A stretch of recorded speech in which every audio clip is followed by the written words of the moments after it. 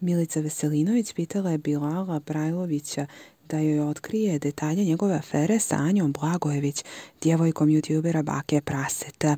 On je do detalja ispričao kako je došlo do njihovog spajenja. Prvi put prije četiri godina, zadnji put prije godinu dana, prošlo ljeto. Zajedno su došli kad je bio gore neki glup program, dolazi u neku emisiju, svašta nešto. Znam je četiri godina, vidjeli smo se dva puta. Odmah se desilo, prvi put pričao je Bilal. Znaš i sama šta on radi, ona isto radi, ali valjda pazi kako i sa kim. To nije bilo kada je bila emisija, nego u toku dana.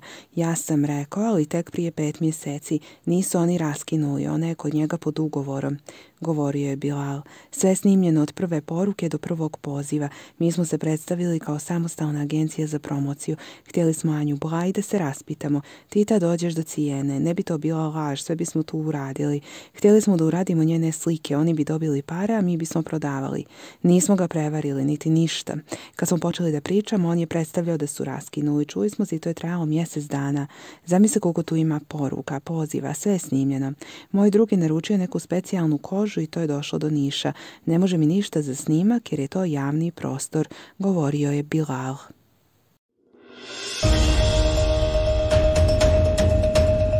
Maja Nikolić u svom stilu riješila je da odgovori Goci Trža na njen komentar da sjaše sa nje i da više neće da je komentariše.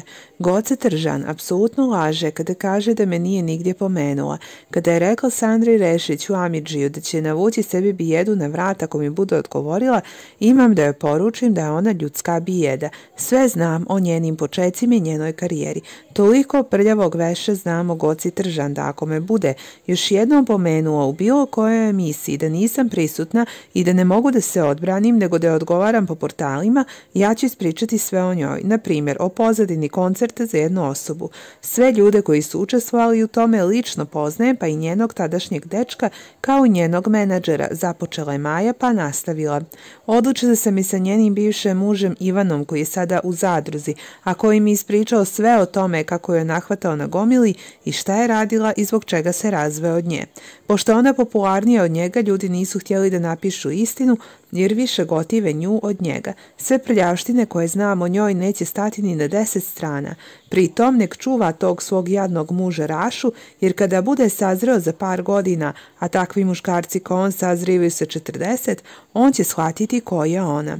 Ona je u odgovoru na moju izjavu o njoj rekla da svako ko govori, govori o sebi. E pa draga Goco, kako si rekla da si jašen sa tebe, e to je pravo lice Goce Tržan. Ona znači voli da se jaše, ima takav nivo i takav rečnik. To je njeno kućno vaspitanje jer ne može da govori dostojanstveno. Laže narod da me nikada nije pominjala u emisijama. Goce meni iza leđa spletkari. Ona ni javno ne može da sakrije svoju mržnju prema meni i mojoj karijeri i čeka svaki trenutak da kaže nešto ružno i pogrdno o meni. Svi mi govore šta priča o meni po kuloarima, a u javnosti se predstavlja kao moralna. Ona je ljudska bijeder, me pljuje 20 godina po špinkernicama i kod stilista, a oni mi sve prenose. Žestoka je bila Maja. Na kraju pjevačica se osvrnula i na Gocin reality. Njen propali pokušaj reality je jeftino smeće. To je glupa španska serija koja nije uspjela da napravi nikakav rating od smiješnog piječnog realitija. Taj nivo realitija govori o njenoj karijeri jer ona hitove poslije Tap 011 nema. Njena karijera je smeće kao i taj reality koji je snimila. Njene glasovne mogućnosti su za 3+, plus, to je smiješno. Ima oktavu i po raspon glasa. Bolje da ćuti i da nastavi da snima kućne realitije na veš mašini. Ko još shvata ozbiljnog ocu Tržan? Zapitala se na kraju ogorčena Nikolićeva.